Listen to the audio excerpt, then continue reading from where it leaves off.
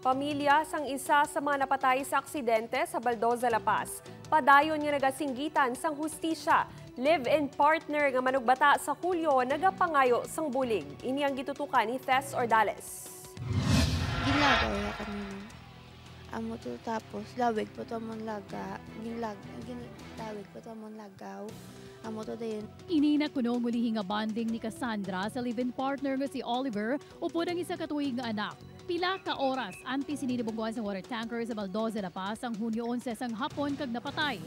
Masobra duha ka tuig na nagaupod si Cassandra kag Oliver. Subong may isa ka tuig silang anak ka. Mapisan kag wala sang bisyo ini. Amo gani nga masakit para sa iya nga temprano paginkuha ang iya partner kag manubata pa ini sa bulan sang Hulyo sang ila kaduha nga anak. Bangod sa natabo, ginapaligban sini karon ang manginbuwas damlag nila. Tani kami year bala nga nga ma, kung mabata ko i-preserve po tara eh ganya bulig. Tapos ang duwa ko kabata ganya lang scholarship. Budlay ma'am. Kay si mama daan wala nang ubra. Tapos si tatay magkamasakit pa. Tay do may may ginasagod man sila nga du- duwa ko kamangag kaswela Ako ko ganun ang mayari. Nagkababa si Marites.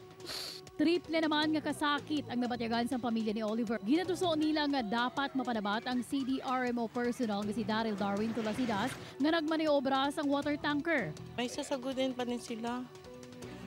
Sagutin nila lahat yun.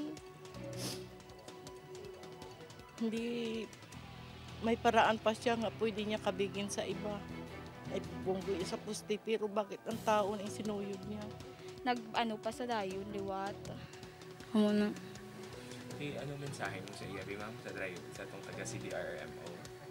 Wala lang ko ano siya kay base kung makita ko sa mabuyayawan ko pa sa Oo, eh, may salabton, ginasaya. Nagdiho na sa executive order ang Iloilo City Government, nagasaad man diri ang penalidad para sa mga nagapang-usyuso nga nagalapaw sa police lane.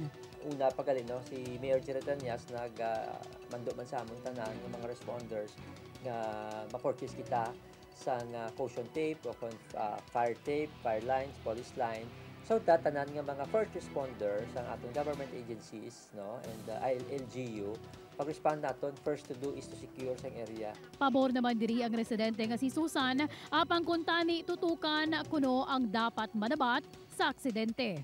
Siya gidyaw naon dapat siya eh. Siya dapat yung unaon ni kwanon. Nga gitandog ito ya yung truck ya to ya nga gimiter-mitira niya to yung truck kapag kadala nga way man to siya ya ginapatandog. Galing kayang sala lang to bala wala silang ginabuta nga dolay na bala sa mga aksidente bala may ara na. Dapat sa nga mo to nga tabo sa una pa lang nadaan galing aksidente nagbutang na sila sang linya nga higot. Upod kay Hans Desierto, Tess Ordales. One Western Visayas,